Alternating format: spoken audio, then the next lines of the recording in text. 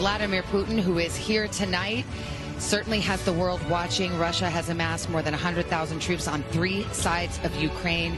U.S. officials have threatened severe sanctions if Russia makes a move. I want to bring in Andy Browne, our China expert here. There is some precedent, unfortunately, in 2014 as the games in Sochi